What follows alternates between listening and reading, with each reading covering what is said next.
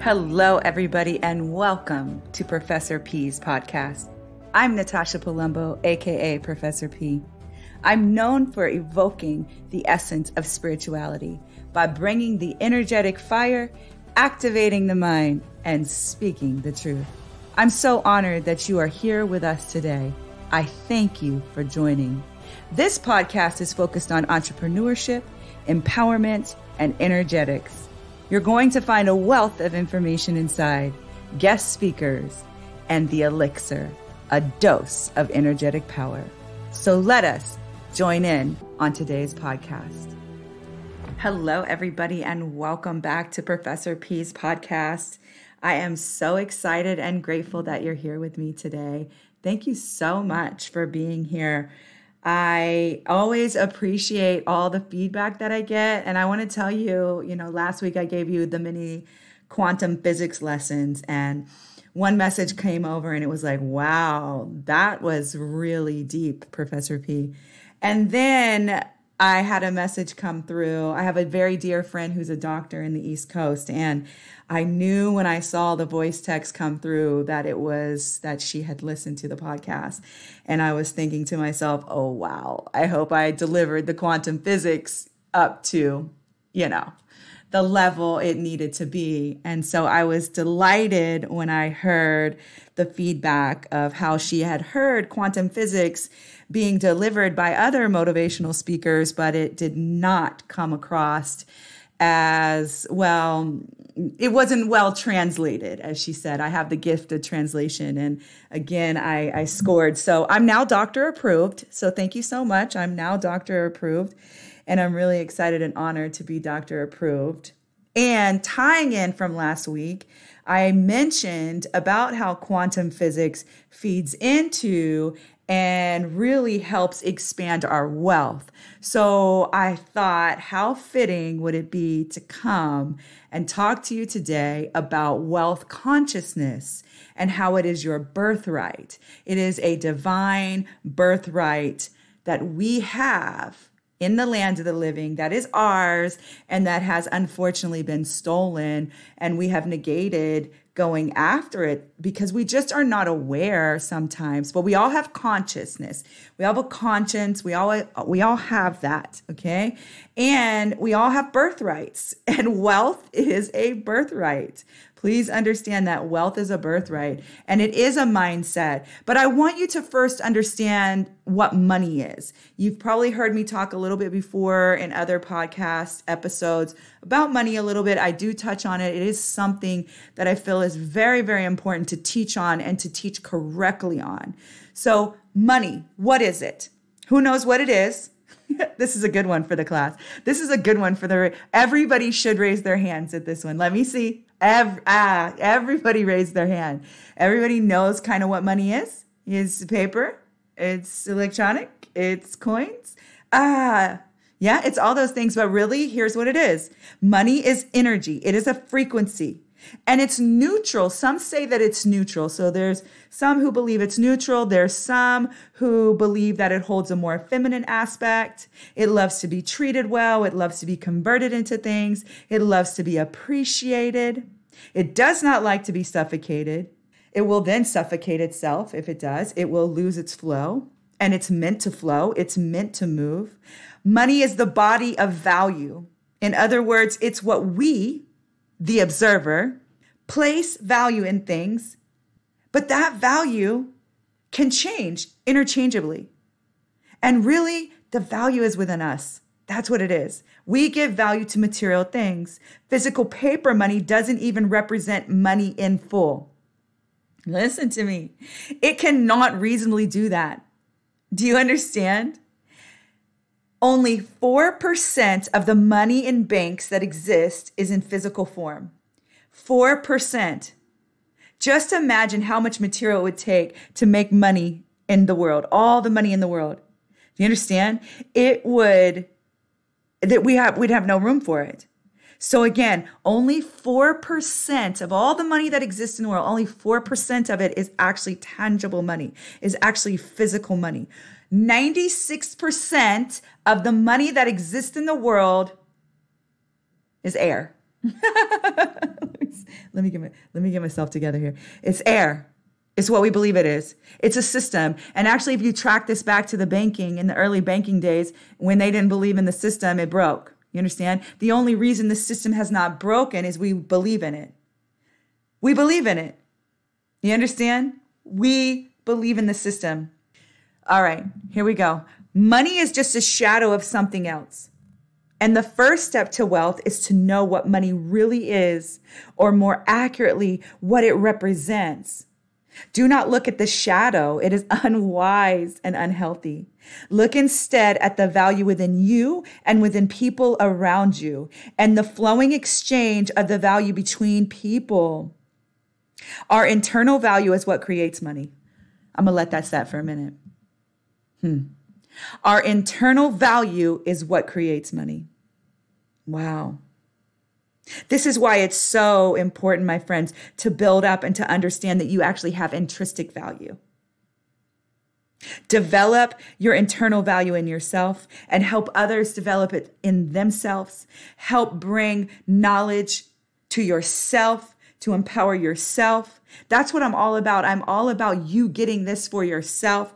That's why I wanted you to set last time and really soak in what I was telling you last week and to really dive deeply into your studies. Everything that I bring to you is for you to dive more deeply into your studies because you got to get this for yourself. Remember that money is only an aspect of a person's internal value, but that does not mean it represents the person's entire value because we have intrinsic value. There is no dollar amount that could ever be placed on us. There is no past, present, or future event that dictates our value. We are endless with our value. We are made by God and our value is given to us by God. And wealth consciousness is available to all. Mm. Wealth consciousness is available to all. I'm saying it again. This is not a respect of persons. Wealth consciousness isn't a respect of persons because God is not a respect of persons. It can be developed by and within all people equally. Wealth consciousness is free to all, but you can choose to develop it or not. You can choose to develop it or not. See, it's up to you. You've got to pick up yourself. You've got to go out there and get this for yourself. You've got to develop yourself. Choose to seek knowledge in these areas. Choose to take these keys that I'm giving you and become empowered with them. You have a rightful place of abundance by birthright. You were born in the land of the living. You have rights in the land of the living, and you have what's called birthrights. Wealth is one of them. Wealth consciousness is simply the expansion of your consciousness and awareness into the wealthy parts of yourself oh, Professor P, I don't really feel wealthy inside, though. I don't, I didn't come from wealth and I don't have even an understanding and I really don't feel wealthy inside. I don't. Do you not understand, dear one, that you are handmade by God? All the wealth is already in you. And this world lives off of poverty and oppression, which makes it very big business. Controlled thought makes the most money. So I understand that you may not feel wealthy within, but I'm here to tell you today that you are. You're a wealthy woman. You're a wealthy man. You're a wealthy person because you're a child of God. You've been chosen to come forward. Each and every soul has been chosen to come forward here. And by that birthing process into this world, you have wealth within you. You have more wealth capacity in you than you could possibly experience in a lifetime. This is what I'm telling you last time in the quantum physics lesson. There's so much there. In this lifetime, you have more wealth already in you than you will ever experience in this lifetime.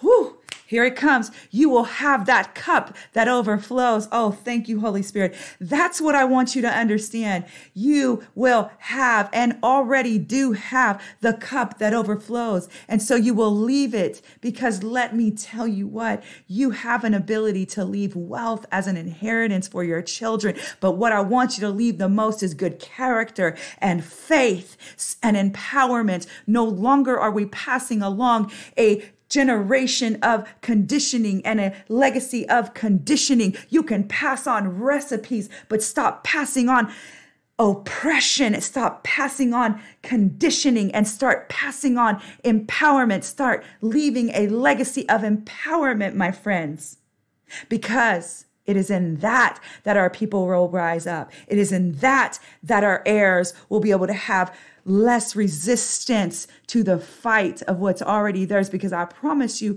they're going to have a fight of their own. Let this not be it right here. Let them not have to carry on the generational curses anymore, any longer. Let them no longer carry that. Allow them to come forward in the freedom of empowerment. You can pass on your recipes. I promise you, apple dumplings are going to continue to be in my family's legacy. but the conditioning? Oh no. I'm building up free thinkers. I'm building up free minds.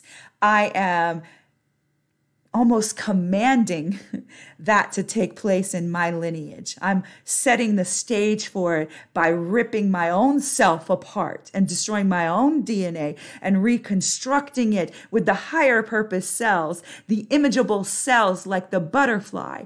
And I am restoring everything that was lost in my lineage and I am coupling it together and I am going to pass it on like a baton to the next. And I believe and trust in what they will do with it. Like I said before, I'm a good person. The more money I have, the more good I get to do. You understand? Money is here to help you. And you need not worry about how you're going to convert your wealth consciousness into money. It will automatically happen. What you have to do is every day study in your mind to build up wealth consciousness. And by natural progression, that wealth consciousness is going to produce before you money, experiences, trips, leisure, luxury, philanthropy, giving, gifts. Oh, my friends, it's endless with what it's going to produce. Everything is energy. Everything has energy. And the energy with which you do a thing, please pay attention. The energy with which you do a thing determines the outcome of that thing. Meaning this, the intention. Please be intentional with your work. Please be intentional with your thought. Meaning this, expectation and emotion in which you do a thing has more to do with the result of that action than you have allowed yourself to fully realize. Please understand this, meaning the intention, expectation, and emotion in which you do a thing has more to do with the result of that action than you have allowed yourself to realize. You are able to embody various energies. Energy is created through emotions, words, visualization, or imagination through holding intentions. When you choose to think thoughts, and feel feelings, you are now vibrating at that frequency. This is why I say when you begin to create your vision board and you begin to set with that vision, I need you to feel it. I need you to produce your thoughts in alignment with it so that it crystallizes form before you because everything has a frequency. Money has a frequency. As you vibrate at a frequency of more money coming to you, the easier you will create more of that reality. Limiting beliefs around money. I want us to discuss that right now. And I want you to take a piece of paper out as I begin to close up my last little bit of time with you. We're going to get to the root today because the root is the limiting belief you have around money. So, right now, I want you to begin to write on your paper what is it that you were taught about money? What did you learn? Did you learn that money was evil? Oh, you're so evil. Uh, uh, or money, people with money, with lots of money, do really bad things. Uh, I can't do that. Or you just shunned from money, you scared of money, or you didn't really know what to do with money and you just, we just had enough to get by. See, we got to get to the root of these things because I'm after the root cause in almost everything there is because it's the root that has to be removed. And I want to plant a new seed today, a seed of safety in who we truly are. We are living off borrowed identities. I told you that. And we are living off borrowed belief systems and we are living off borrowed hand me down jackets. I need you to take those jackets off right now. You are here at the tailor shop. Woo! You are about to get a very fit, tailored, brand new jacket just for you. So, right now on your paper, I want you to begin to write down all your limiting beliefs around money. I will never have money. My family didn't have money. I have to save for a rainy day. And all of a sudden, then there's a rainy day. There's only enough. Money is bad. Whatever it is, what did you believe? Did you believe that there was only a certain amount? Did you believe that it was bad to have money, to hold money, that you only had to have used things? You didn't need the new things? Where you you just get enough and that's it. We just have enough and that's it. What was it that was taught to you? What was taught to you? Where was the limiting beliefs in your family? Did you have to work yourself to the bone to make money? Was it bad to have more than enough? Write it down all the limiting beliefs you have around money. Spend some time doing this. I really want you to set and pour all of this out. There is no such thing as a fixed income. Hmm. We in this world have capped ourselves. One day I'm walking through campus and I realize I have this epiphany and I'm walking through campus and it's a beautiful bright day and it's buzzing with energy with their backpacks on and their earbuds and I can see them chittering and chattering with each other and their energy's so wonderful. I love campus life. There's so much going on. People outside, clubs outside, and I'm walking through and I'm just enjoying the presence of the campus. But I have an epiphany. I say, oh my God, even here in an institution of higher education, I, as a professor, am capped at my salary. And I thought to myself, oh no, can't be, can't do it. I'm going to stay here and I'm going to continue to be Professor P. But what I am is I am Natasha M. Palumbo, the daughter of the Most High God. Do you understand me? I was not meant to be capped because I am an everlasting, never ending spirit, free floating, and I have full authority to live in the abundance and in my full birthright of wealth and wealth more abundantly. I get that because God says in his words, I will give you wealth. I will fill your houses with treasure. That is word. That is scripture. God says, I have made myself poor so that you will be rich. I have stored up riches for you to cast them on you at the right time. Do you understand? I want you to get this today. I need you to get this today. Money is meant to be used to enjoy life, to be utilized, to be celebrated. Do not shame yourself for wanting more money. Shame never works. Forcing something doesn't change your energetic state. If you've saved up your money but you don't feel worthy of it, you will manifest some wildly outrageous event to spend it on and then indicate it as evidence it was a good thing you had that savings aka the rainy day savings, because you never felt worthy of it to begin with. And if you have any trauma root like myself, you battle with worth because that is what they were after. Because this world didn't feel worthy, it came after the innocent and it pulled the worth out of them. But I'm here to tell you today that you are worthy, that you have intrinsic value. Go look that up. Go look that up and really set and meditate with that. Now, as I leave you with this today, all of us have energetic minimums and maximums. After you set with your limiting beliefs, I want you to then write to yourself what you believe about money now.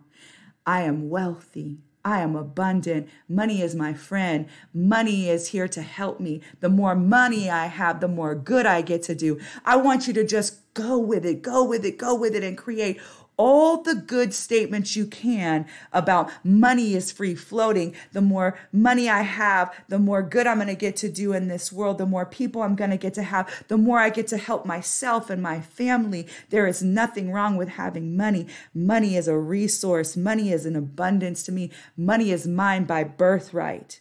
And then I want you to realize what your energetic minimums and maximums are. These are the amounts of money you cannot imagine earning less than or more than. There is an amount of money we never let our accounts go below, and there is also even this is even if this is negative, okay? It can go negative, but you'll never let it go below a certain negative amount. And there is also a number on our account that doesn't go above because of our belief. Our worth is all wrapped into this. What is your energetic set point? Is it at never having enough? Or is it having just enough? Or is it set to overflow? Or having way more than enough? I want you not to just have overflow. I want you to have way more than enough. I want you to have so much that you are continuously flowing and growing. I want to see your wealth increase and not just money, your wealth in every aspect of your life because you are worthy inside. It is only after you open up to limitless possibilities Quantum physics, my friends. This is why I set the stage last week. And things going different for you that you notice and are presented with, or that you find motivation to go after opportunities. Here's what I want you to do I want you to set right now with your energetic minimum and maximum. And I'm going to reset it. Okay, here's something we're going to do right now. I want you to take your piece of paper I want you to write down the number, write it all out. Okay. I need all the numbers out. I want to, I want you to write down the number of the income you want to see this year or next year. Let's even start with next year. We're starting to close out. We're almost into quarter four. So let's just go ahead and say, what money do you want to make next year? What is it? Write the whole, all the numbers out. Write it all out. Okay. Write all the numbers out. Do it right now. Write it all out. What income do you want to see next year? Write it all out. I'm going to give you a minute to do that. Do you have it written out? Yeah? Some of you, some of you are going to come back because you're driving or you're listening to me. Come back. It's okay. I want you to come back. But right now in your head, before you come back, I want you to write it in your head. I want you to visualize it in your head. If you're not in a place where you're able to write this down, because you're listening, and so you're going to hear what comes next, and I need you to be activated. Either you're writing it down or you're thinking it through right now. I want you to write out or think in your head all the numbers, see all the digits of what income you want to make next year. You got it in your head? You got it on paper? Take a deep breath with me. Hold it, blow it out. Take a deep breath with me. Hold it. Blow it out. One more time. Deep breath. Hold it. Blow it out. Add a zero in your head. Add a zero on paper. Add a zero to the end of that. Add a zero to, yeah, that, yes. Add it in your head. Yes. Yes, we just did that. Yes. Do you see the number? Set with it for a minute. I just reset your energetic maximum and minimum. I took the maximum that you had and I made it your minimum. And I gave you a new maximum. Old ceilings become new floors, my friend. Old ceilings become new floors. And that's what just happened today. Now, here is something that is extremely important. Are you open to receiving this? Are you open? I'm looking. I'm feeling. Are you open? Are you open? Are you open? I can feel you. Wow. I can feel you, everyone. Thank you. I love you all so much. Thank you for receiving this message today. Thank you for activating your own consciousness today by my voice. Thank you, God, for the power of this voice that you've given me this gift of translation. Listen, my friends, set with that today. And if you struggle at that number and you're like, I don't know, then I need you to go back and set a little deeper with your limiting beliefs.